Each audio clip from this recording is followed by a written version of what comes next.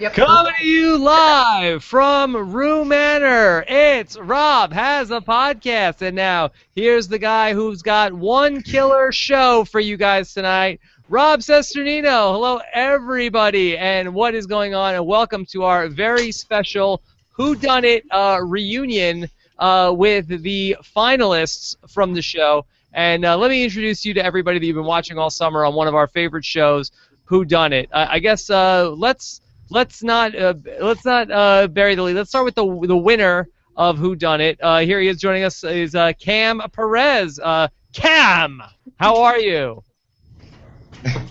Yes. Great. How are you doing? Good, fantastic. All right, and now also uh, the uh, the woman who uh, could not at any point kill him this season. Here is the killer, Cris. Hello. Cris, uh, are those are you uh, talking to us tonight from a state penitentiary? Yeah, do you see the bars in the background? and and uh, you you hear that laugh, you know who it is. The woman who almost won uh, Whodunnit. Here it is. Here she is, Lindsey. Hello. Lindsey, how are you doing? I'm just fine. and uh, and now here is uh, Melina. How is how is your connection? Uh, are are you able to uh, to hear us and see us? I can hear you and see you. Can you hear and see me? Yes. Here is Melina. Uh, Melina, you know you're not in a uh, a fast moving limousine drinking champagne, are you? I'm not, but there are leather seats, so it's kind of close. okay. And uh, somebody who's been in and out uh, with their connection. He was with us only moments ago, but uh, now his connection is frozen. Uh, Ronnie, uh, who may or may not uh, pop back in uh, later on. So uh, if you see a, a blank window on the bottom of the screen, uh, Ronnie may pop in. And here is my, my partner in crime, uh, Kurt Clark. Kurt, how are you doing tonight? I'm, I'm doing pretty good. Uh, thank you guys for joining us.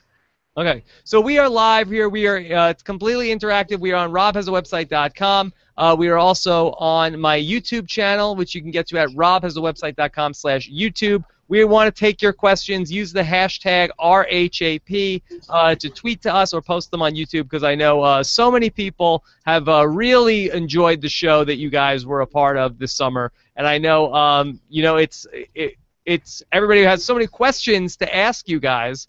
Um, I, I don't even know. I don't even know uh, where to start. I guess let's let's talk about the re- revelation that Cris is the killer. And I know Lindsey was trying to ask her right up before we started the show tonight. Uh, how hard was it to hide the secret? Did your family know that you were the killer? Uh, Cris, what was it like uh, knowing this information all summer? Um, honestly, I went into it pretty cut and dry. Like, this is a job. I have a job to do. It's my job to keep a secret, and I'm sure everybody kind of saw throughout the show that I'm very serious about tasks when given to me. Um, it was hard to keep it from my family, and they guessed.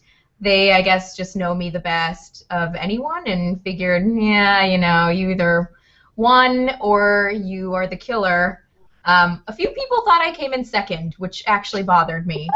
Um, I was like, so, so you don't think I went all the way? Just real close. Yeah. Uh, yeah, it wasn't very hard for me to keep the secret. Um, now, for you, uh, for Kam and for Lindsey, who were very close uh, with Cris uh, mo- most of this game, I guess uh, Kam, uh, you won the game, but you had no idea that the killer was your uh, BFF in the game here. I had absolutely no idea. I still think Geno should have been the killer. I yeah, I was completely completely dumbfounded when there was the the final reveal. I I still couldn't process it. Like, there's no way. No, you're kidding me with this. No, it's no, it's not a joke.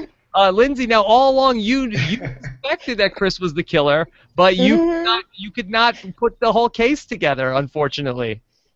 Unfortunately for Kam. I mean, the last episode was just running around, so I don't know if this case was putting the case together. yeah. Now I suspected the at least the whole last half of the season that the killer was none other than Melina, uh, and I was very confused in the last episode, Melina. I thought it was you up until the the up until the last minute of the show. I thought you were gonna pop out as the killer. Yeah, and that's funny because it was you and thousands and thousands of other people. and for whatever reason, it was just even when I died, and this is hilarious. Even when I died, they're like, "Oh no, she didn't she didn't die. She's still the killer." And even when Cris is in the room with Kam, I was getting just hundreds and hundreds of tweets of people saying, "Oh no, that's Melina in the whole iron suit. That that wasn't Cris." I'm like, "No, guys. Like I wish, but no, no. I died." Oh, Melina, I, I thought you were the killer because you were the only one that seemed so scared the whole time. You were screaming and shrieking every time something happened. I thought, oh, she's faking it. Well, she's not scared. Nobody's really dying. I know, and it's so funny because just naturally, I, I that's just who I am. Like I, I spook so easy, and if you're ever on one of my flights, you'll see that because the flight attendants love to mess with me, and they love to jump out, and I'm the one screaming in an aisle at like two in the morning. It's ridiculous, but that's just who I am. And honestly, like I knew everything was fake. Our dreams and our hopes for 250,000 wasn't fake, but I knew, you know, the whole process was fake, and I just tried to let myself be fully immersed in the whole, you know, situation, and I, I think I pulled it off. Yeah. Well, I hope I'm never on a flight with you and we hit some turbulence and you start screaming because I'm going to be freaking out. yeah, I hope not. Yeah. Uh, well, let's go back to Cris. And Cris, uh, I- so many people, myself included, have questions about. So, as you knew you were the killer the whole time, so how? What was your approach in in the game? Were you trying to mess with people? Were you trying to give misinformation? Were you just acting as though you were just one of the players? Or what was it like for you to go through this game knowing you were the killer? I, I think the second that Cris Abrego approached me and asked me to be the killer, I knew that the only way, or for me, I felt the only way that it would work and be believable is if I 100% convinced myself that I wasn't the killer and if I tried to win the money. So I really was playing legitimately as I would play were I not the killer. Um, I, I tried like hell to win. Um, and I think that's probably the only reason why, although a lot of people did end up suspecting me, um, you know, you pick a horse and you bet on it until it dies in this game. Um, but yeah, I, I, I genuinely played. I didn't get any extra information. Um, legally, it would have been unfair for the producers to feed me any information because then technically I could have picked the winner um, or made it made it lead that way in someone's direction. So I, I really played just like everybody else, and I applied to be on the show because I genuinely wanted to test my skills and prove to myself that former beauty queen could outwit some really smart people. Now, did you try to give any misinformation or try to throw anybody off the scent as the killer? Like, were you uh, anyway? I, I know some people, so many people have compared this show to The Mole because it's has some similarities. Did you do anything to try to throw people off? I threw a ton of shade on Lindsey. Every Uh, single that's week. about it, yeah. yeah. yeah. You know, uh, Cris had a great theory that I was believing fully, and it never aired. I thought it was like perfect.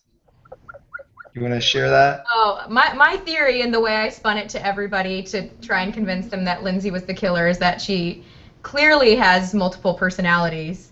And that cute, bubbly, you know, squeaky laugh Lindsey was the nice, normal Lindsey, and she genuinely wanted to help us succeed because she also was in fear of the killer. But, you know, everyone, when nighttime hit, she would Jekyll Hyde and turn into Lindsey the killer. Is that true, Lindsey? Is that? I, I don't know. I think you have the killer right in front of you. Not sure which one it is. I Alright. think the Part of me still thinks Lindsey's the killer. Well, I want to take a lot of questions from the Rob is a podcast uh, audience on, on this show tonight, and some of them are coming into us already from Twitter. Uh, Colin Stone on Twitter wants to know on day one, how much did you guys know about the game format, and how did you adjust as you learned more about it? So, um, I want to f- direct this question to you, Kam, because in some ways I felt like you were uh, the Richard Hatch of Whodunnit, in that you were the, the the show's first winner, and also you were the guy who in, invented the Whodunnit alliance, which I don't know if the show's creators thought that would happen when you, this game started, but you very early on said, "Hey, I'm going to make this group, and we're going to have an alliance, and we're going to share information," and it really polarized the whole game uh, with all the other, people who weren't in the alliance against you. Yeah, uh, we we learned the rules of the game the night before. Um, we had a meeting with uh, Cris Abrego and Anthony Zuiker, the uh, executive producers, and that's when they fi- first finally sat us down and told us what the rules were. They told us that we were going to be the victims. We didn't know any of that until that night, um, which, incidentally, I actually did not know I was on the show while I was learning all this information. Um, I was actually the alternate, and uh, I'm sorry. Oh, what did you? Oh, go go ahead. Yeah, so I, was actually the alternate. Um, I we came to the you know we did the final round of casting in LA. Uh, they told me you're not on the show, you're the alternate. Sent me back home. Called me back two days later after I told my boss and everything that we didn't need to schedule any five weeks of vacation anymore. Um, and like, just kidding, come back. But we still are not sure that you're on the show.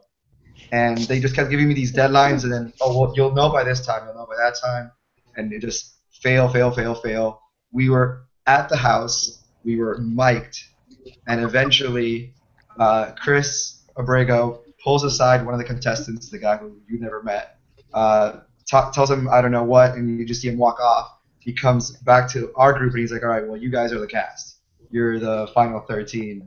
I'm like, oh, well that's good. That's news to me. Nobody, nobody else there knew what was going on. I, I don't know what they thought about that 14th person, but I was the only one who was like sitting there, freaking out, trying to figure out what I was gonna do with the next five weeks of my life. How big of a Did anyone suspect? Oh, go ahead. I was like, did anyone suspect that that 14th person was the killer at any point during the show? Yeah. Yeah. Oh, I, mean, I- I, I was watching him like a hawk. At, I mean, I already knew I was the killer at that point, but I was like, oh, something's going on here. Maybe there's two of us. so, turns out, dude just enjoy enjoyed a joint. Whoa. Uh, so, um, here's here's a question from uh, Nick 2S who wants to know, uh, Cris, what do you have against cheerleaders? Um, now, how big of a shock was it for you uh, to see one of your uh, fellow cast members uh, be killed off so quickly in the first episode, Sherry? I mean, for me, I, I have nothing against cheerleaders. I have a lot of friends that are cheerleaders. Ironically, um, that first day when we were all in the house, Sherry is who I talked to the most. Um, and I, I was like, oh, good, I, I'm going to foster a friendship with this girl really quickly. Like, yeah, I, I have a friend in this, you know, I, I can, possi- a possible Patsy. And then she died right away, and I was like, well, great, there goes that. Um, but, you there know goes. a lot of people don't realize that the entire series was written way way before the cast was chosen. And it was more like a plug and chug situation. It was like we here are 13 people. Cris you're the killer. It's all very they they wrote it to be sexless. Um, so you know unfortunately cheerleader went first No, very very sad story for Sherry. Uh, now, how did you guys all get involved with this show? Because we didn't hear anything about it in. Uh, I mean, we're very focused in the Survivor and Big Brother world, so we didn't hear about this show coming up until uh, you know just a few months before it was on. So how did you guys all end up on Whodunnit? Uh, well, for me at least, um, I was actually the casting director contacted uh, the Mensa in New York and in Philly, and they wanted to have uh, Mensa members apply to the show. Um, and I got an email blast from the New York chapter um, and responded to that. That's how I made my way through. Okay, Right. interesting. I can. I kind of. I actually came in also through the. I'm not in Mensa, but the a friend of mine who was on the Glass House last year. You're friends Um, with Stephanie from Yeah, yeah, Glass House. Yeah. We used to work together. So, um, yeah. I just randomly saw something on her Facebook wall about this and asking for smart people, and I just joked around, not even knowing that Anthony Zuiker from CSI was involved. Just like, because I just absolutely love CSI. I actually haven't watched a single episode since we filmed this. Maybe I'm a little put off for a while, but um, yeah, just from there it kind of progressed. Um, and Cris, Uh, I got a casting notification and went in for the casting. Uh, Melina, how about you? How did you end up uh, as as a flight attendant uh, to get from uh, being a because everybody else uh, has, has or a lot of people have like jobs that are somehow connected with crime solving. Right, mine is completely off the wall. Which actually, I mean, I saw some crimes on that airplane. There's people who steal minis all the time. I mean, I have my fair share of crime solving. But no, mine was completely random. Um, I had a friend who was in the Avengers, and he was just an extra, and he got paid a buttload of money to do nothing. And he's also a flight attendant. So I was like, you know what? I can do that. So I searched in Facebook, like in the search, and I put in casting agencies and then the first one I found I clicked on and it just happened to have like a post about this show and then I I sent them an email and then that the rest is history. I Wow, guess. that's a fantastic story. I know. It's, Wait, hold it on. was Wh- really random. While he's here, Ronnie, are, are you there? Yeah, I finally got the computer. Yay! Yes, I had to go to the car and grab the backup computer and then log it in, and then it's like, ah, and I'm here. That that damned monkey. Ronnie! I'm Yeah. never gonna let so, Ronnie, how, how did you end up on Whodunnit? That. Um, well, I've been doing uh, Spanish television for a few years now, and, and I have a casting agency that kind of lo- uses keywords like investigator, detective, bounty hunter, and stuff like that. And this casting call hit on one of those searches, and um, I think I went down to Philadelphia and met with uh, with one of the casting agents, and then a few weeks later, I was in California, and um, I guess that here I am. They Okay. loved you. Yeah, Ronnie, a recruit for Whodunnit, Mhm. and, and not a frozen food salesperson, a, a No. bounty hunter. Now, are you, are you really a bounty hunter? That's what I do for a living. I just walked into the door from a horrible, horrible day. Oh no. Yeah, I, I, I mean, I just got to this place, and about 15 minutes before the sheriff's office had just taken the guy away, and it's just like just watching money roll down the street. oh no. Lindsey knows what that's like, right? Aw, too soon. Too soon. Soon? That's too soon. Okay, sorry about that. Months. Yeah. all right. Let's see. Um, so I think a lot of people have uh, questions about the uh, reenactments. Uh, uh, Brian Scally wants to know: uh, Did Cris play the killer in all of the reenactments in the episode, or did somebody else and you just filmed them uh, for the finale? Uh, I didn't. I had nothing to do with the killings ever because it would have given away that I was the killer. So it was a actually a stunt man who filmed all of those. I just did the pickup scenes for the finale. Yeah. Um, now, so many people, uh, their favorite part of the show, uh, bes- besides from uh, how great you guys were, was uh, Giles and what a character he became on, on the show. What was Giles like in real life? Giles. Yeah, he never he Character. never broke character. I don't Never. know whether Never. I don't know whether he is really that way, but he never changed. He was always that guy. Yeah. Now he now he was an actor. Uh, what what is his name? Gild Gildart. Gildart? Killed- yeah. And and really uh like Gildart. yeah. So and Gildart never broke uh, character like Daniel Day Lewis. Exactly. Fully see by the method actor. In Everywhere, spite of our lunch best outside. We we all threw curveballs at him to see if we could get a rise out of him. Um, it was really kind of fun to try and stump stump Gildart, stump Giles, and he always played right along and answered as Giles would answer. Well, give us some funny stories. What were some things you did uh, to throw Giles off? Um, I think all of us would just kind of like poke little things, especially when he would start to get weird with like the lays and the luau and stuff like that. Anytime we could, Yeah. we could get a little innuendo in there, we would and see if we could take the bait. Now, there We was. uh, oh, go ahead. uh, we uh, after the uh, episode at the ranch, you know, we Yeah, did see him. about to That was the one time we saw him out of uniform. Uh, he was like wearing jeans and Crocs riding in his Prius, um, very you know very un-Giles like car. But still, when he talked to us, it was still the Giles banter. Uh, he told us I think he told us he was from Brooklyn actually. Oh, he tried to trick me that he wasn't English. I was not happy. the girl who grew up in England herself. How did I Giles trick you? up in the piles. Ooh. He, I mean, he told me. I was trying to ask him where he was from in England, trying to bond with him. You know, he is our butler. And then he tells me he's from Brooklyn. And he put on a pretty convincing American accent. How did you guys keep a straight face? Uh, and there was a couple episodes where Giles was acting uh, really odd when uh, you guys went to the stables. Uh, he seemed like he was all out of sorts. And then the episode where you guys came back to the, the mansion, uh, it seemed as almost as if Giles had been day drinking uh, during that episode. Uh, did you guys, when, when he's acting odd, uh, I mean, how do you guys deal with that? You know, we just well, Lindsey reacted exactly as she is right now. Um, and we were much tamer versions of that. But it was, I mean, it was hard to keep a straight face sometimes with some of his, uh, some of his puns. Um, there were a couple of scenes that I was really looking forward to seeing and seeing people's reactions to, like the uh, the British Rambo they did.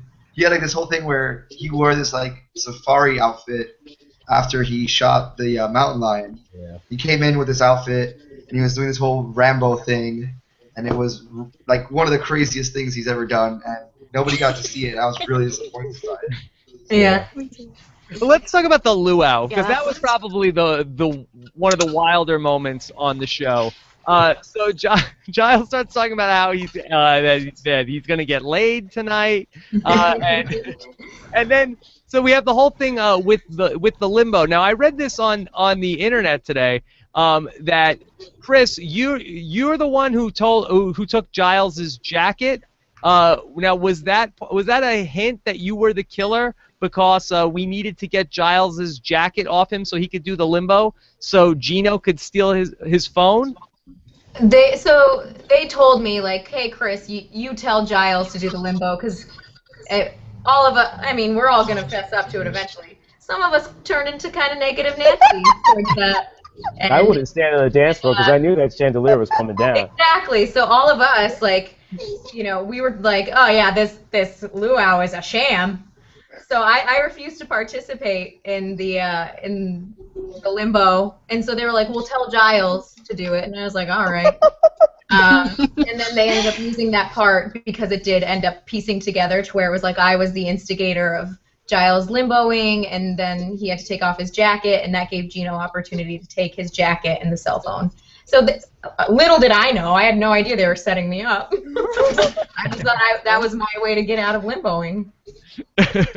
um, You know, Go the, for it. um, right after that, when you know the power goes out and everything, we're taken over to the study, um, and Giles gives us a little speech, and that was that was the exact opposite end of the Giles spectrum. That was Giles at his darkest, and it looks like Mhm. you know, like he was like fuming. He looked like he was gonna kill the killer if he found him next. Um, it was. It reminds me of that scene in Willy Wonka where like he gets really like almost satanic for a second. yeah. Um, it was crazy, and again, left on the cutting room floor. Mhm. Um, it's a shame, really. You guys didn't get to see that. It was some like it was like really unnerving to see. I was waiting. I was that waiting to die the whole time. Like you guys were all moving around, and like I'm like, okay. People would come to move me and touch my arm. I go, that's it. I'm dead. They're like, no, relax. I go, and then somebody else would come and grab me. I go, that's it. I'm dead because that that was the point where it was between me and Dino, and nobody. They don't tell you. They didn't tell me right then and there to the very last second. That was like 15, 20 minutes of pure torture. Um, this is a question from Brian Scally, and this is a question that that we all had uh, on the show. Uh, this is for Lindsey. Why was Lindsey so giggly on the morning that Melina died? Uh, when so you guys are wait, waiting there in, in the living room, and they, and now out comes Lindsey, and she's like, "Oh my God, Lindsey has been like poisoned with helium." Uh, She's definitely gonna die. She's acting so weird. And Yeah. yeah, what was what was going on there? this was funny. Kam and I were talking about this today. Um, I it was a funny situation because they don't they when you were scared. It was the first time I was scared, so I didn't know what to do. And they put you into strange situations. So everyone, I guess, was already in the room. I didn't know that. They just said, "Go, you know, go to the bar and stand there."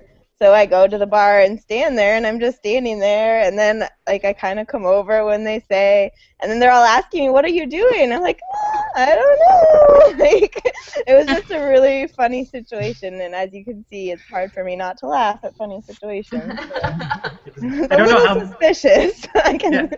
I, I don't know how many of you have listened to the podcast, but Rob and I kind of had a dueling. I was Team Lindsey in terms of the killer, and Rob was Team Melina, and I think we were both just watching that ex- moment through the same lens of, okay, which of them is about to die right now? I think we both thought we both thought that you were poisoned or something. Just waiting for you to keel over at the bar. That would be awesome. Um, If that would have happened, I think that would have absolutely been the worst murder. no. What did they ever give you any sense of why did they make you all go in the car that day? Uh, you guys go go in the limo and then you open in champagne glasses and then the car does like a does like a U-turn. Um, wh- why? Just to get you out of the house so Giles could get tied up? Yeah. I think so. And did the did the car? Yeah, we were we were trying to figure out the riddle. Oh yeah. There Nope. was because the, the like the, the message that Giles gave us on the way out. I forget what it was. It was something about an incline, and Incline. something about the sky or something. right. We thought that they were Oh, going to yeah. make us go skydiving. Is what we thought. um, Drive us off a cliff. yeah. I was ready for off a a cliff was cliff. the other one. Yeah. All right. Uh, here's and then when the car turns around, yeah. Sorry, when so when the car turns around, I'm immediately like, okay, who was given something that they forgot to bring? Like, you know, somebody did the whole kukui nut shell thing again. And now the killer's pissed, and we're going back to the house for that. Uh, so here's a question from Punks193 who wants to know: Out of all the deaths that you guys saw, which one was the best one to witness? Uh, was there was there one death that stands out for you guys that was uh, the either the best or funniest to uh, see go down? Dante's. Yeah. I Dante, don't Not sure. funniest, but scariest. yeah, definitely not funny. Because no, it was not really. Funny. It was a. I mean, it was a ball of fire. Someone on fire running at us. I don't think, and it was right after we got there in the middle of like it was like 4 a.m. or something, and none of us were prepared for that. Well, and you compare it to what we had seen so far, which was Sherry's death, which was just a loud noise and a chick flopping on the ground. Like, meh, not that scary. with a bunch of plastic fish. Um, Yeah. yeah, with a bunch of plastic fish, we were just like, oh, really? Um, so then to see an actual human being running on fire, and none of us had any idea. I, I was crying in that episode because I, you know, I'm a cold-hearted killer. Um, so that it just really freaked, I think, everybody out because we were like, we're standing that close to somebody on fire, and it took a minute for me to realize it wasn't Dante, that it was a stunt woman. So I was just like, if I have to participate in any fire running, uh-uh. wait, it was a woman. Yeah. It was a woman. Oh, Dante stunt double. And she really looked like him. I mean, when he ran past her, we were like, wait a minute, did they really set Dante on fire? Because That was She what was- really. Yeah, that's what really scared me. I mean, we all knew it was a stunt. You know, there were firefighters around and stuff. But I thought that was actually Dante. I Mhm. Yeah, did it's too. It looked just like him. But if they set me on fire, I'm going to actually die. And at that point, are you guys wondering what did I get myself into? Yeah. Yes. yes. Nice. Uh, let's take a question from Bennett Payne, who wants to know, uh, Cris, did you have anything to do with the uh, with the killings or making the? Uh, actually, I, I clicked the wrong question. You've uh, you, you you've answered that one. Um, so uh, let me. Uh, how about this from Cindy Wigglesworth? Uh, do you eat the food at the tables uh, when you get the scared parts? How much of that? How much of that spread that they put out did you guys actually eat? None of it. None of it. Yeah. At Yeah, one point, I they mean- came out and they were like, "Don't eat anything or you'll die." Oh, the yeah, the for Dante's episode, all of the stuff that was like supposed to be set on fire, they're like, do not eat any of it. And then they came back. All right, just kidding. Maybe this is safe, but maybe. We're like, all right, well, we're just gonna pass and wait for the pizza later on. The beer and pizza, of course. Yeah. Oh. Uh, All right, here's the question I was trying to click on. From Bennett Payne uh, wants to know, uh, Cris, do you have any trained monkeys? Uh, now, it was it was such a, a big part of the show, something that we love so much. Uh, Ronnie's theory about the trained monkey uh, was involved in the uh, death of Geno. Ronnie, did you have a- did you have any uh, other clues that pointed you in the direction of a trained monkey being involved uh, with Geno's death, or was that just a gut feeling? I was toast. Do you understand? When I walked into that room, I was toast. I mean, I didn't have anything that Lindsey had found. I, I was just completely lost, and I was just like, you know what? The first thing that comes out of my mouth, I'm just gonna say it. And I turned and I looked at the monkeys with the on the mantle, and I said, you know what? Screw it. I guess a monkey just went up there because Kam was there. There was an unnecessary rope next to the chandelier. I mean, what was that rope doing there? I mean, they didn't lower it down slowly, right? And then you had also found the clue that they put the gun in the drawer, and I'm like, what did the killer do with the, the gun? So I'm like, you know what? I'm gonna die anyway. So let's go with the monkey thing. So if there is a if there is a season two and the killer uses a trained monkey in one of the deaths, are you going to take credit for that? I am, and I'm going to ask for my compensation for it. Yes, Fair enough. Um, it's it's monkey mania right now, though. we love it. We love the trained monkey. I wish the trained monkey was involved. Um, so, uh, Ryan Weiss wants to know on Twitter: uh, Did the dead bodies in the morgue ever laugh or talk to you guys? Seems hard to stay still for that long. Now, uh, every uh, uh, or I should say, uh, only Ronnie was the only one who made it to the morgue. So maybe we should uh, focus this question to him. Uh, but did you guys have any bloopers that happened in the morgue while the, your uh, cast members were on that Yeah. table? Well, Ronnie and I were in the morgue with uh, Dana and Sasha, Oh, and uh, once She we scared the crap out of us, is what she Yes. did. yeah, she once we finish our investigation and we're like on our way out, like as soon as as soon as like, I look to Ronnie, I'm like, okay, we're good, we're good, and then we start to walk. She gets up and goes boom, and No, yeah, she scared the bejesus Yeah. out of both of us. Like I screamed like a little girl. That's funny. We had we had a really good one. Um, Lindsey was there. Remember Lindsey? And Dana was okay. She remembers. And uh, it was with Ulysses, and he was naked, right? So we're we're standing there, and the only thought in my mind was like, let's make Ulysses laugh. And we start like stroking his chest. The fans are gonna love this. And we're like, oh, you're so sexy. Oh, you're such a strong man, Ulysses. And he just he couldn't hold it, and he just busted out. Oh wait, what did Dana say? She's like, "Oh honey, you can get it." and he just he couldn't handle it. He just started laughing. But obviously that didn't that didn't make it on the um, editing room. I saw a uh, GIF on the internet of uh, I, I think it was uh, I guess it was it was it Cris and Melina in the morgue uh, lifting up the sheet off of Geno. Did you guys see Oh. that? I mean, I told Geno to his face that is a, a very attractive, tall glass of man. So, I mean, when in Rome, what what was there a Whodunnit man? could have. Whoa! All right, we're gonna we need the final six for Geno. Um, all right.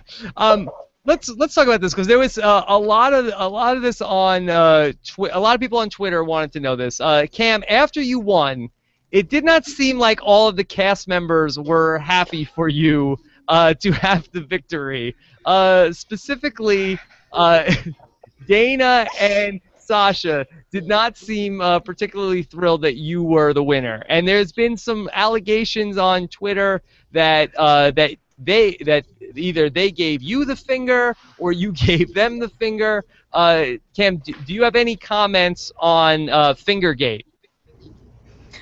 I absolutely have a comment on. Uh, Uh, Uh, yeah. So this, I mean, that I knew about this whole thing when we were at the house, and the way I remembered it, at least, I think that what they had said was that I had flipped Melina off, and they were just mad for what I did to Melina. But I, first of all, if I was gonna flip somebody off, it was not gonna be Melina. There are definitely people higher on that list to get the, to get the finger. First of all, All right, who's getting who's getting the finger in the in the finger power rankings, Kam? Who's number one? number one. I mean, this is, this is what we're here for, right? Number one is Sasha with a bullet. Okay. Then Geno. then that's then that's pretty much it. Actually, I didn't have any problems. Like I never had any problems with Dana while we were on the show. Yeah. I, she is the one who was like the leader of this Fingergate movement on Twitter, but I don't. Um, I don't know where she got that from. I don't know why I would have flipped off Melina. Plus, if, here's the thing: if I was gonna use, I mean, that walk was my my my victory lap. If I was gonna use that to like be nasty, I would have just stopped, put down my suitcase, and be like, "Screw you, screw you, screw you." and then, like that was that was all for me to control. Like I would not have to do it like surreptitiously. And I think if anybody's been watching the show, you know that I don't do things like secretly. I will confront you to your face if I have a problem. Yeah. So, yeah. So why why are they saying that you gave them the finger? Well, they, they were saying that I gave Melina the finger. And I don't, know. Melina, you can chime in on this because I don't know where they got that idea from. I think just we were all I don't know. Lindsey be quiet. we were here's here's the first thing. Like whether like let's say Kam did give me the finger, let's just let's just say that like putting it on Twitter is completely wrong and I disagree. However, we were all very upset. I don't think anybody wanted to see anybody other than themselves win. So like to have you know Kam standing there, people were already upset about that. And then he you know he was waving, he was touching his nose, and I could see like why Lindsey Oh, really?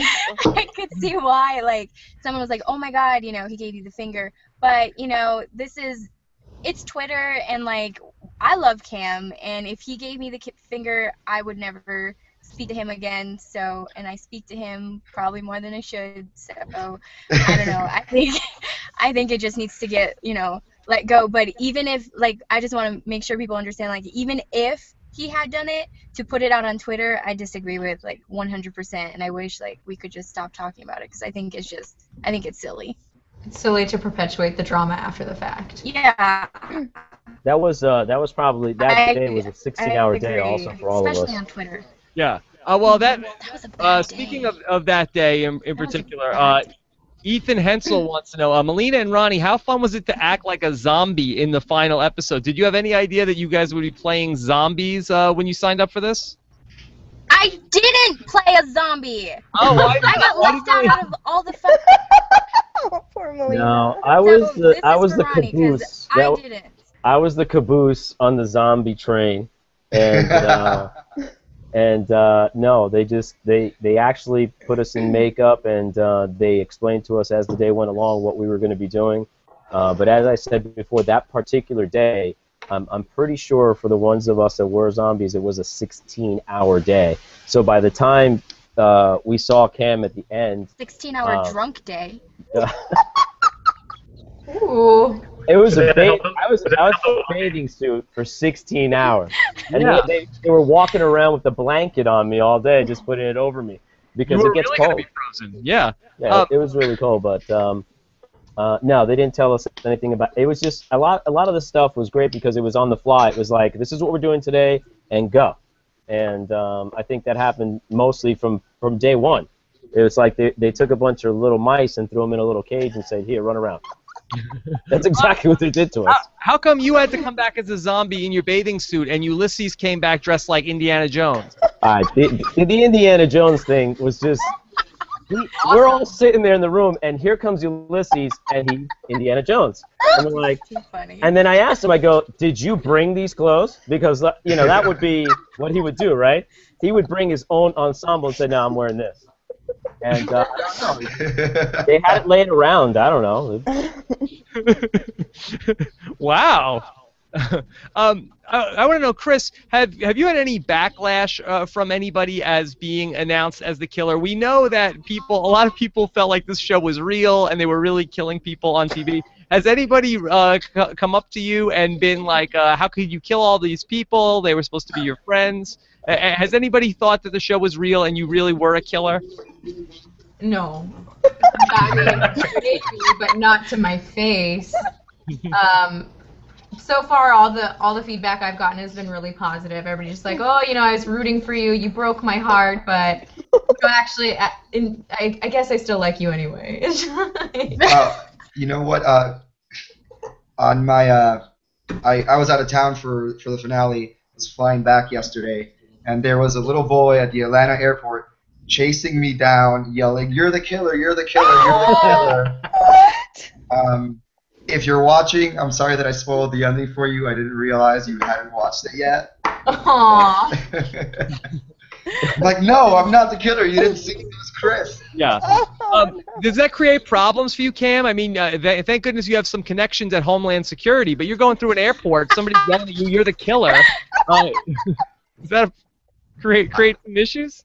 Yeah. Uh, luckily, I was not selected for any additional screening this time around. Um, I'll let you know next time I fly whether there's any problems or not. So far, so good. Yeah. I just hope that Melina's on your flight. And Yes. don't finger. yeah. Uh, Be sure not to scratch my nose anywhere near her. I know, right? it was a pick. Uh, so uh, let's see. So uh, we have so many questions uh, com- coming in. Uh, Kurt, you have a you have another question for these guys? Yeah, I was I was kind of wondering, um, uh, Ronnie, I think particularly for you, we saw that amp knowledge of poison came in in handy during the ricin uh, part of your death. Did you get to bring in any experience from being a bounty hunter into this, either in terms of you know analyzing clues or potentially even just in how how you interact with people? Um, you know, uh, a lot of the stuff that I do is field work, and it, there were many times where I would be explaining to other people in the group like technical terms, and I'm like, why aren't they questioning me on how I know all this stuff? and uh, yeah, it was just I would just I would just mention it. Um, I, I think the only thing that really gave me a little bit of, it, of an advantage is being a little bit more aware of surroundings. And, and on a day-to-day basis, I'm a little bit more aware, and that allowed me to maybe look at things a little bit differently. And I guess, I mean, yeah, it probably did give me a little bit of an advantage. Obviously, not a great advantage, but um, you know, it did help out a lot. All right, so um, let's let's go to uh, Chris Ber- uh, Chris Berger's question. Uh, and wants to know: um, Did Lindsey ever consider going with Melina at Final Four to avoid a Kam-frontation? Uh, did you ever, uh, when you got to Final Four, did you ever think of breaking off with uh, Kam and Cris to go with Melina? It was early on. I mean, these these like four people that you have here are by far my favorite on the show. So I mean, every every day, like Cris, Cris and Kam were my partners, but always, and they would get mad at me. You could see if we were like sitting anywhere. Cris and Kam would be next to each other, Melina and Ronnie would be next to each other, and I would literally be sitting in the middle. Just if we were like sitting around waiting for the next shoot, and that's just how the entire season went. And so I mapped out. I just looked back at this like book of notes that I took, and I don't know. I know Kam, I saw Ronnie taking notes the entire time. Like we should have known we weren't the killers just because we were taking notes. But I like filled up pages and I mapped out like every scenario, and it never worked in my favor to leave Kam and Cris because they were so tight, and I was so convinced that Cris was the killer. So if like I couldn't ever separate them, I just had to stick with them, and there was no other choice. And you had Cris picked out from week one, right? I think. yeah. and I think and and Cris, you kind of alluded to you know pick that horse and then ride that horse until it dies. Was there anything in particular that made you suspicious? Was it a hunch, or did you actually see anything along the way that? It was our theory. no. So I so Cris on the first day, it's funny the pageant thing. I wrote, I was looking back too, and she would just say things sometimes that were like really funny things to say, like, "Oh, the killer killed like a cheerleader. What's he gonna do with a pageant girl?" And I like root like I was like, why would someone say that? That's kind of weird. And then I like thought there was all this physical evidence left behind. Like we found like Cameline and I found this like these little red pieces that looked like Cris's suitcase. And so like all along things would be confirmed and it wouldn't be about the evidence, like fake evidence obviously that was nothing in the end. Um, but just like her reactions to it. Um, just always kind of confirmed it until all of the I actually think all the evidence towards the very very end pointed to Kam because there were a lot of things we discussed that only a left-handed person could pull off or like naturally pull off or like to try and strangle Geno like Cris is not nearly tall enough even with high heels oh. on or to drag his body. so like that was only when I started wavering a little bit towards the end And that's interesting because we, we actually we had G- Geno on the podcast several weeks ago, and we kind of talked during that podcast about the difference between this being a who done it versus a how done it. And he said he kind of picked up on that very early in terms of um, not looking for clues as to who the killer was, but really focusing his focusing his efforts on how the murders were committed. I'd love to hear from, from any of you. How quickly did you kind of shift your thinking from trying to figure out who the killer was to really focusing in more on the method that each crime was committed? Like I think- I think it was right away. Oh, all of us at once. Ready, set, go. Go. I think like for me right away, and I, I think for all of us because the one of the producers or somebody was like, okay guys, enough trying to figure out like who done it. Try to think of this as a how done it, because like they don't show this obviously, but that first riddle. Like this is hilarious. Took I don't know, like what, an hour and a half to solve Hour the first riddle. 45. an hour 45 so much so that they had to like alter it or I, I don't even remember but like They gave us sucked. two additional clues.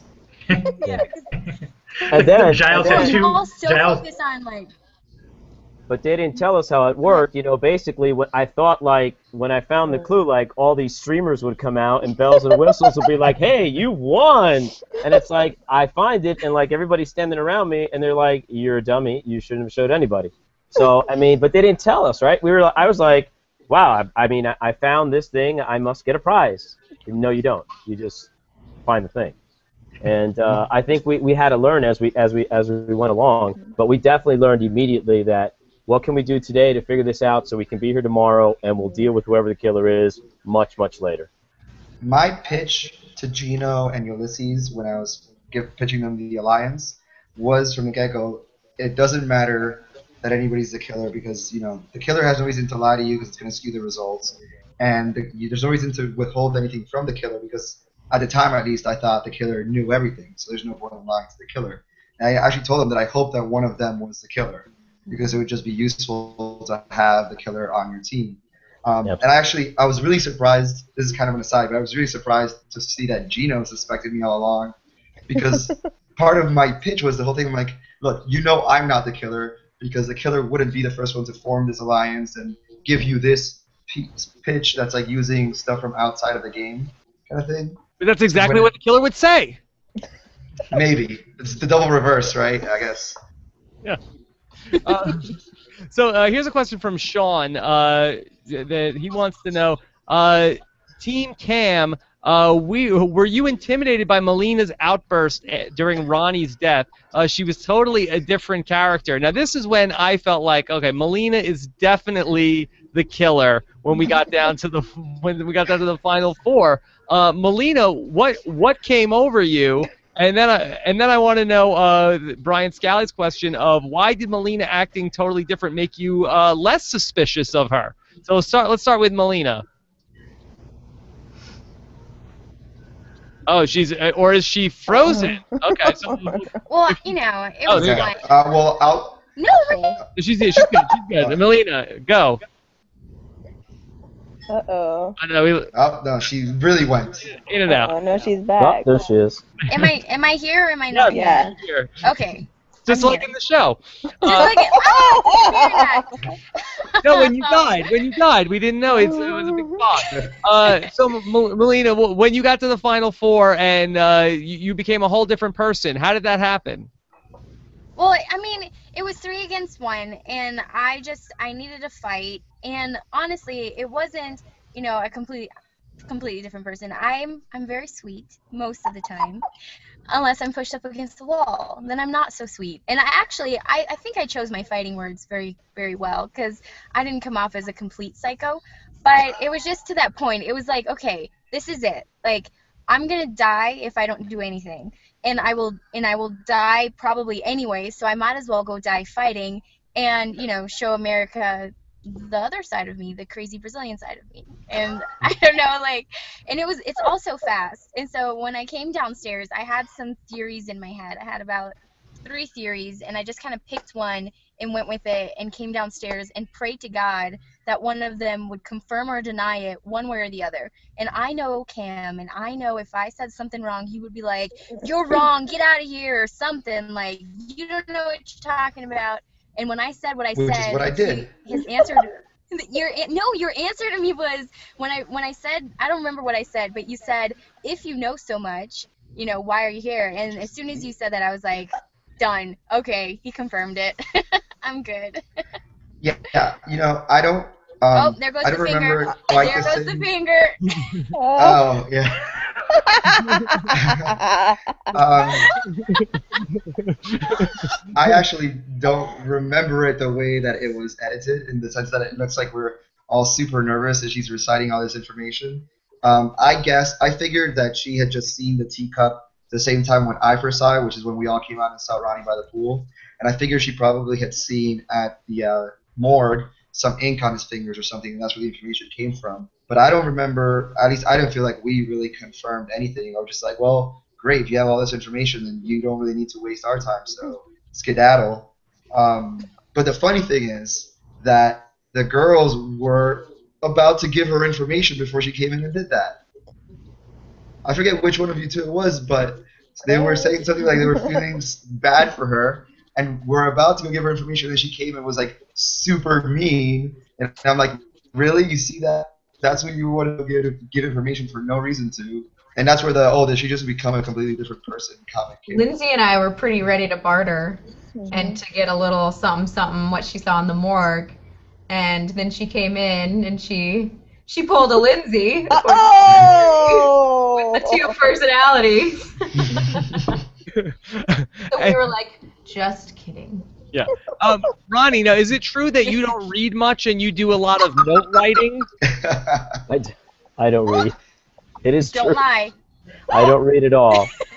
You know, there's plenty of uh, cliff notes and movies out there for me to have to spend time reading.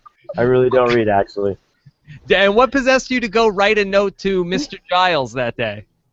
I don't know. I mean, you know, it uh, it was imminent that the killer that Cris was after me, and uh, I felt that I needed to leave some information behind for somebody to Yeah. find. It was so amazing that same that same day that you thought that the killer was working with a trained monkey, you suddenly by that evening cracked the entire case and were ready to write a note to Giles. I'm that good. Yes. Well, you know, if anybody, if you pause the tape and look at what the note says, it wasn't even like it was gonna be a good theory. It was like I know for a fact that so and so is the killer because I heard so and so tell so and so that they were dishonest. I'm like that doesn't prove anything. Was there was that was that fine print in the note that you were reading, Kam? oh, okay, okay. Can we talk about that? Can we please? Oh wow! Well, I was, but I was going to ask uh, Ronnie if he really enjoys powdered cream in his tea. Uh, more of a just a, I'm just milk, but uh, I'll I'll have uh, powdered cream if there's nothing else around. But uh, she kind of just uh, put it in front of me, and uh, I was thirsty and ready to get blown to smithereens, and I just drank it. yeah. All right, uh, Kam, tell us about the Giles's employment contract. Okay, first of all, I still, I swear there was not a magnifying glass when I did it. There was no oh. magnifying glass there. Oh, Check the tape. Check the tape. But, but, but, that aside, right? I didn't see that little fine line there. But the rest of the contract is that Giles' responsibilities include setting traps, springing traps, and disposing of bodies. That's every freaking step of a murder right there. And the fact that the, that his employer says, "Oh, but don't worry about it. I won't hold you responsible for it." At the very end, doesn't make him not the murderer. He's still like a killer for hire. It's just that you know his employer, whoever that is, won't hold him responsible. He's still gonna go to prison for that. So I was like, lawyer. So what was well, in you know, and then here's the thing. Here's the thing. The, I don't. I never saw it. Somebody else Me can answer that. Neither. oh, it was an add- it was it sta- stated in the fine print at the very bottom that it's an addendum to the contract that he is in no way liable and he himself did not perform any of the actual murders. So Well, she would know. She wrote it. Yeah.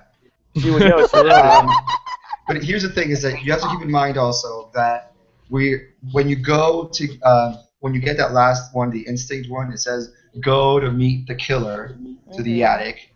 Um, we, you know, the whole thing with the trap, like the fact that we left the house and Giles somehow trapped himself and then somehow wiggled out of it, and that we, the last thing we had seen of Giles at the time was that the killer supposedly killed him. So, mean, so like now all of a sudden he's alive, he's out of the trap. There was a lot of really sketchy things. It wasn't necessarily that I was 100% sure it was Giles was the killer, but it was like 51-50, and I figured I'm gonna go with this, and if not, I'll come back. But I mean, it is what it is. Uh, all right, Nick 2S wants to know what advice would you guys give to future contestants? All right, so let's say, and uh, and, and people also want to know uh, if the show is going to come back. But let's assume let's assume there is a Whodunnit two uh, next summer. What what sort of advice would you guys give uh, to uh, a future Whodunnit player? I think that what we all learned kind of throughout the game, and there was a learning curve, um, is that aside from like you, not the most obvious solution is the solution, but you really have to take everything with a grain of salt. Like there was a lot of movie magic, a lot of magic in general involved raising the child. um, but you really like once the clues are all laid out for you, it really is like a thinking man's game, and that was Chris Abrego's entire vision from the beginning. Is he wanted a reality competition for intelligent people, for people that could figure out riddles, who could put puzzles together, and not only that, but interact with other people and learn how to gain trust and uh, get coax out information. So I think that going into it for another season, if you're going to play the game, play the game, but know that it, it's meant to be a thoughtful game. Anybody else have advice for future Whodunnit players? Yeah. I- yes. Can I? Go ahead, Lindsey. Go ahead. yeah, I yeah, just I I mean it definitely I was impressed by actually the intelligence of most people in the game, um, and I think that if you're not, it, it's a game of strategy and problem solving. If you're not good at it, like don't even think about trying. You know, I would say uh, don't treat any of the evidence like evidence of a crime. I think there- it's more. Well, no, no. This is the whole thing. Like you, you don't want to overthink it. You don't. Uh, they're they're really more puzzle pieces, and it's like the uh, reverse Occam's razor. The any whatever answer, no matter how implausible, that involves all of the puzzle pieces that you have, all the clues you have available. That's the correct answer, even if it seems ridiculous. If it involves everything that you have, that's the one you got to go with. Now, have you guys heard anything? Do you think that there will be a Whodunnit two? I have faith that there will be one, but it's we haven't heard anything specific. I haven't at least. I haven't I- heard anything specific except I saw a tweet from Anthony Zuiker today or yesterday, and it said like it was like a second book or something, and it said read the second book because it has hints on season two.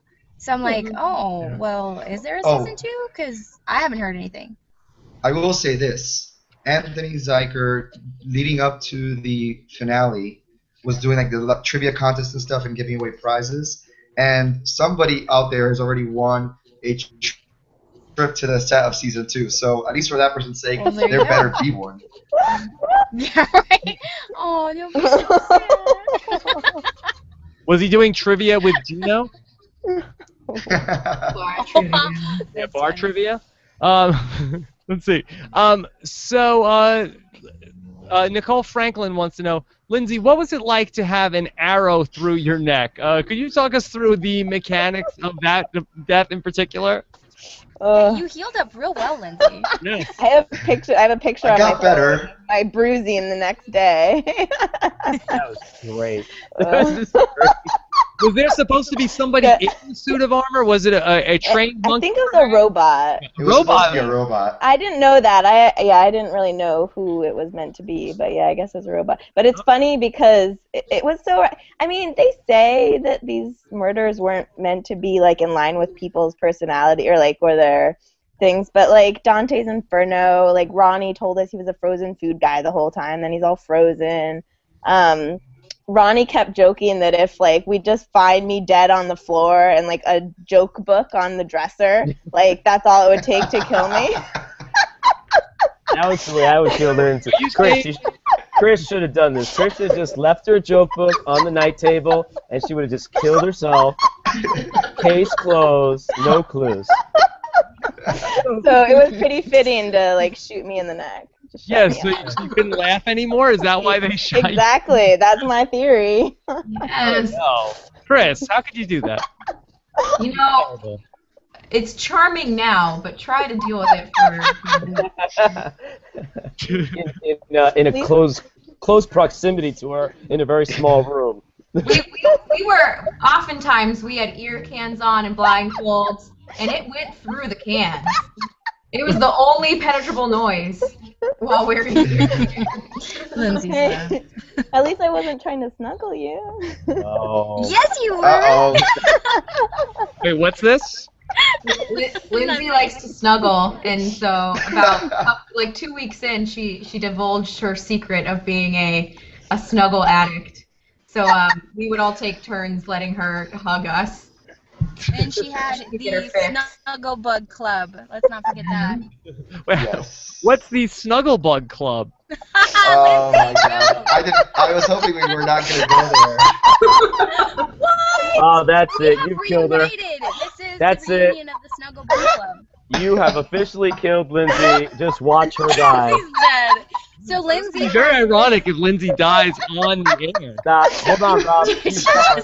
No, keep going. I'm There she blaming goes. Cris she Can we She can't take it. Oh, oh my god, can we send 911? What? Lindsey. Oh no. Explode. All right, when, when do we start the hashtag Snugglebug Club? Hashtag Oh. Snugglebug Club is going to happen. No, we're Get not it going trending. There. Yeah, Uh, trending. Go on. Snugglebug Club is something that Lindsey and her family enjoy when they get to reunite because they do live far apart from one another. So it's, it's similar to the family bed. They all just hop in a bed together and snuggle and, and tell stories of love. That's a nice. That's nice. The, the producers did not like want they did not want us to do that. I remember distinctly they'd be like, in six days you can have Snugglebug Club. There is no there is no snuggling in Rue Manor. Yeah, first first rule of Snugglebug Club. Um, all right, this is from uh, Coltrane 1107. Uh, yes, Melina, I do have a crush on you. Am I too young for you? So I, I guess without. Well, how, how young is too young for you, Melina? Oh, that's so adorable. Considering all my fans are 12, um, they're all too young. Because they were scared so also funny. the whole time. I get those tweets all the time, like, Melina, I have such a crush on you, but am I too young? And they're all like 12 and they're 13, and that is just so adorable. And don't anybody say my age, but I am older than I look, so we'll just, uh, yes, you're too young for me.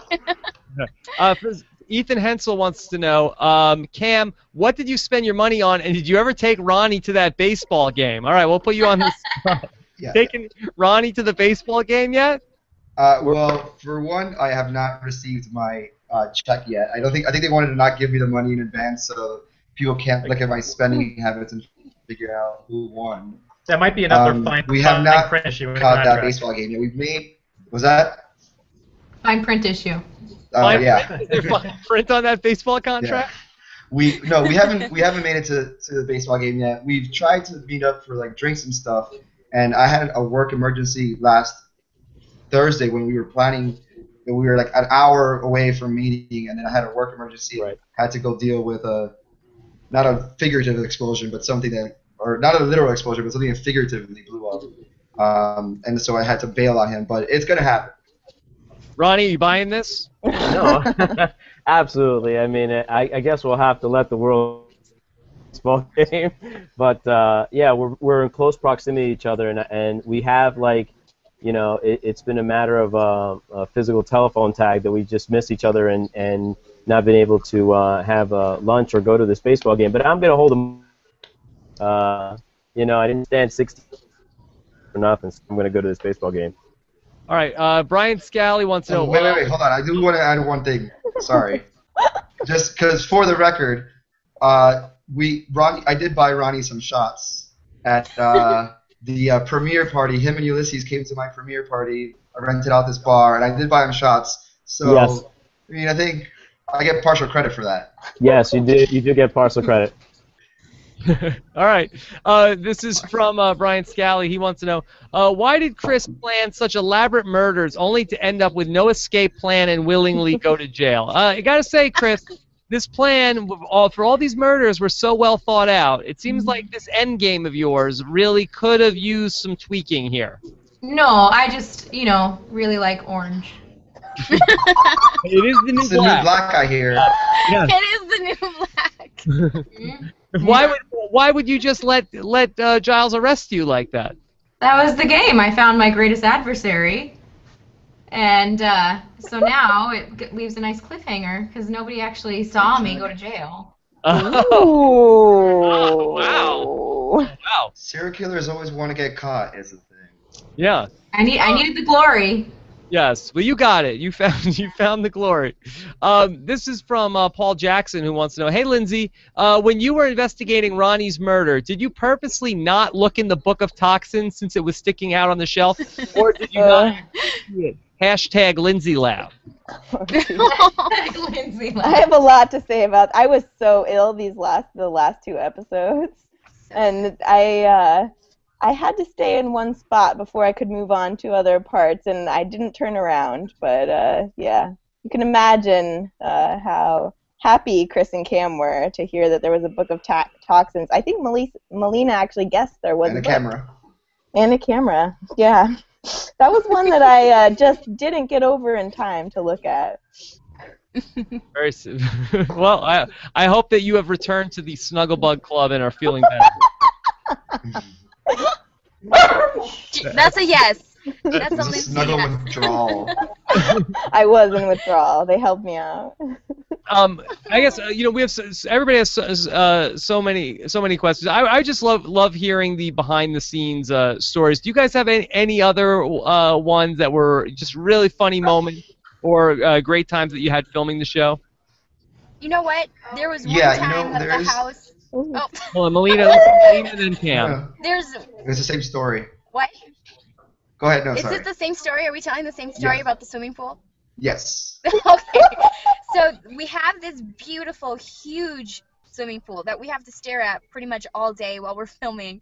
And then one day, um, I think it was Cris's idea or Kam's, I don't remember, but they're like, you know, let's get in the pool. So, and it was right before, before like bedtime, like curfew. So everybody runs to their room, they change into their little skimpy little bikinis, they run outside and like one, two, three, I think Cris calls out, and everybody runs, jumps into the pool. I know Kam lost his balls because he was like, it's so freaking cold in here, and I didn't. fell. Like I just, I just stood there on the side. I was like, I'm not getting in. There's no way. And like, I remember Cris is in there, and she's like screaming because it's so freaking cold. And something, um, I don't know if I can say this. Please don't hate me, Cris, but something that a lot of people don't know about sweet little pretty Cris over there is that that mouth, that little mouth on that girl is so foul. So like she was in the She's a pool killer. and like all seriously, if you had a censoring device, all you would have heard was like beep beep beep beep beep beep. It was hilarious. But that's the only funny story. I have. That, that like was the same story you had, Kam. Yeah, yeah, that was the same story. You know, when you had when you had Geno on, he you asked him about um like how things were at the house when we weren't filming, and he said that it was really tense. And I certainly don't remember it that way. The only, I mean, there was the day that it was tense was when the three of them got the scared cards. Like that ride back to Rue Manor was mega awkward. But I really enjoyed the fact that everybody was really good about clocking out. And once we weren't filming, we were just you know friends and we hung out. Uh, the, with, when I when Ulysses and I were scared, they all got to go to the movies. And I mean, I, I thought it was like we had a lot of cool moments where we were like hanging out and just you know being normal human beings for like an hour every now and then. Well, it was a uh, a very fun show, and uh, you know w- this was a, a lot of fun to get together with you guys. Does any, you guys have any other uh, any other stories or anything you want to tell us before we start to wrap up? All right, I'll take that as a no. Well, you guys were fantastic. I know the people watching in the chat room. I'm watching, uh, you know, all these things go by. People uh, really, really appreciated this. Thanks for uh, taking the time to uh, chat with us because it was uh, it was a lot of fun. Um, l- let me uh, go down the line and everybody I you do want- think real quick before you go, go. just real quick before you say your goodbye. Like I, I do I do think that it does need to be noted the fact that you know our ratings throughout the whole you know the whole season wasn't the greatest. It wasn't bad, but it wasn't the greatest. But then the finale, like it, our ratings went up. I think what 27%, and it was all because of all of our amazing Twitter followers and our fans. So I think it I think duly noted. We need to you know make sure that they know that we appreciate them so much for making the show happen. Because if it wasn't for them, I don't know what would have happened. There you go. That's right. An applause. right, well, Thank let's you give everybody so much Twitter to the fans. Here, let's go. Let's go down the line. Uh, Cris, Yes. give us your Twitter. My Twitter at Cris Crotz, C R I S C R O T Z. Same, same for Instagram. Okay, and Kam. I am at, at Kam Perez, K A M underscore P E R E Z, and same same for Instagram. Lindsey. Oh, nice Giles impression. Um, I'm at L underscore E underscore Anderson. Ronnie. I'm at, at Ronnie Padron, and also for Instagram, at Ronnie Padron. Kurt. Oh, I, I am at Kurt Clark, uh, two C's, as as you know. Yeah. Uh, and just last thing, how did you guys not lose it when Giles was wearing the uh, one-piece bathing suit? Oh, we did. It- So- I don't. You don't laugh at that. You you get sad about that. That was bad. Now, did the You, you get so sad. did the And the producer straw hat. to Giles with the with the one-piece bathing suit, or did he have that? That was. I think he had that. All right. Not wardrobe. He definitely did. I, I think that I think that came from Giles's closet. He just walks around like that. Yeah. Sweet little Uh, Gildart. And real quick, since we missed it just a second, mine is at the Melina TV on Twitter. If y'all Yeah. want to follow me. Yeah. Uh, that uh, Melina, I'm so I I apologize. Ah, God. I- you- First well, you, you say I'm a started the whole- zombie, you then started the whole thing. I forgot you didn't say it at the end. I know, I'm kidding. It's all Yeah. good. It's all love, baby. All right. Well, and I'm at Rob Cesternino. Uh, you could subscribe to our YouTube channel with uh, re- we're doing reality TV, uh, Google Hangouts, and podcasts all the time at robhasawebsite.com or subscribe to our YouTube channel at robhasawebsite.com slash YouTube. Uh, we'll be back after, live after the Big Brother eviction on Thursday. Hope to see you there. Uh, take care, everybody, and uh, we'll talk to you soon. Bye. Bye. Lindsey, one more laugh. no, I can't do it.